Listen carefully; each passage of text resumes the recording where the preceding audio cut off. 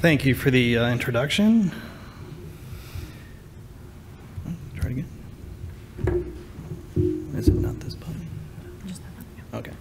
All right, so the uh, motivation for this study is within the uh, field of tissue regeneration or, or, tissue engineering. And really, a common paradigm within that field is to combine cells and growth factors, which are proteins and genes, and to take kind of this milieu and incorporate this into a scaffold that's then placed at the site of a wound. And you can see the, the, the cartoon there where you have, let's say, a bone defect. We put this biomaterial there and the hope is that this implanted biomaterial is going to stimulate or to guide regeneration.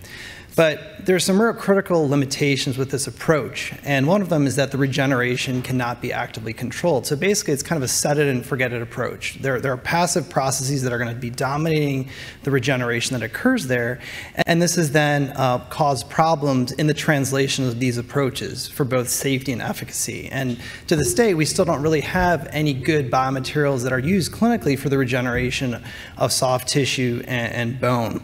And so our vision then is to come up with a material where we can non-invasively control regeneration using ultrasound. So let me tell you how we are doing that here.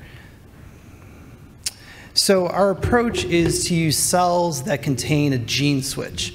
And so this gene switch is heat activated and ligand inducible. So we have a, uh, you can see the, the cartoon there on the left. We require a heat shock. There's a heat shock promoter, as well as a ligand, which is uh, a heterodimerizer. And only in the presence of both the heat shock as well as the, the ligand do we get gene expression. And so downstream of these regulators, we can put whatever gene we want. So for example, we can do a reporter gene like luciferase or VEGF, uh, which is involved with blood vessels, or BMP, which is involved for, for bone growth.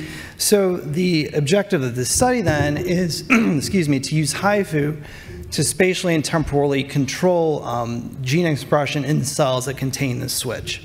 So let's see what we actually did. So first, let's talk about um, the scaffold that we use. So I told you that kind of the paradigm within engineering, tissue engineering, is to deliver cells using a scaffold.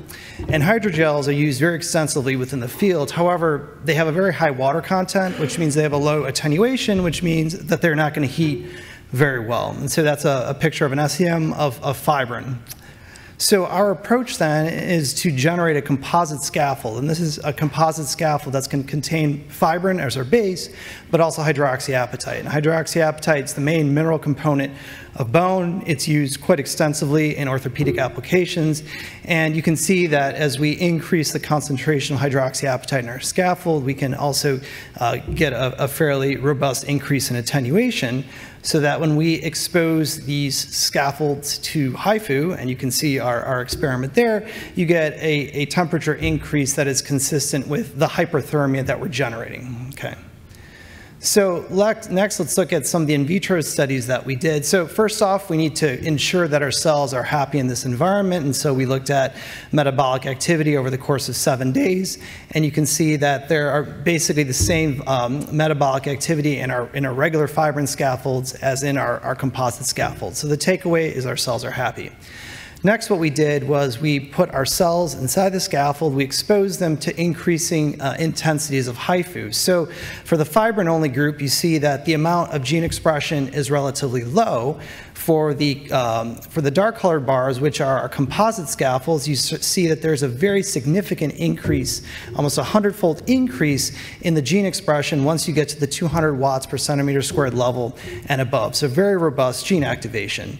We can also spatially pattern this gene activation by rastering um, the ultrasound transducer across our scaffolds, and we can get different profiles of activation, different widths of activation.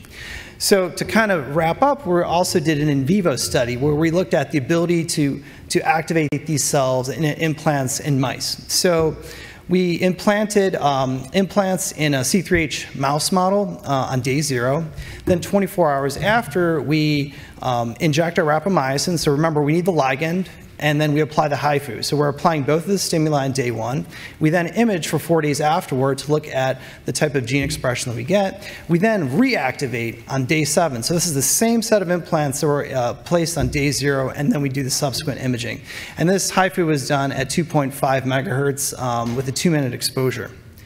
And so on the left there, you can see the top image. We put a fluorescent marker inside our scaffold. We can confirm that each mouse does indeed have two scaffolds, but on the bottom image, we see that only the scaffold that is exposed to HIFU actually shows, uh, in this case, the reporter expression.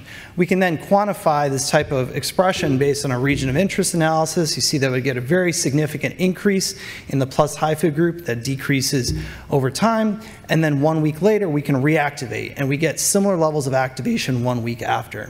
So to conclude, HIFU can be used to both spatially and temporally control um, transgene expression in our cells that have the heat-activated and ligand-inducible gene switch. And using our composite scaffolds, we can get activation at lower acoustic intensities. And so our next step then is to be doing activation studies with VEGF and BMP2 transgenes. And so in the top left there, you see an initial study that we did with BMP2 using an F luciferase uh, reporter line um, that responds to BMP. So I'd like to acknowledge our funding, especially the Focus Ultrasound Foundation, which supported this work. Um, and thank you for your attention.